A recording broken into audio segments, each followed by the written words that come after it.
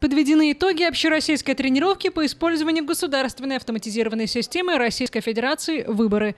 В Нижегородской области подали более 85 тысяч заявок. Более половины зарегистрированных приняли участие в тестировании системы дистанционного электронного голосования – при подготовке к единому дню голосования 19 сентября 2021 года в Нижегородской области использовали 190 видов бюллетеней. Это максимальное количество среди 85 субъектов Российской Федерации. Напомним, подать заявление на портале госуслуг мог любой гражданин России, достигший возраста 18 лет и имеющий подтвержденную учетную запись. Эксперимент показал, электронное голосование позволяет избирателям экономить время, сохраняет тайность голосования.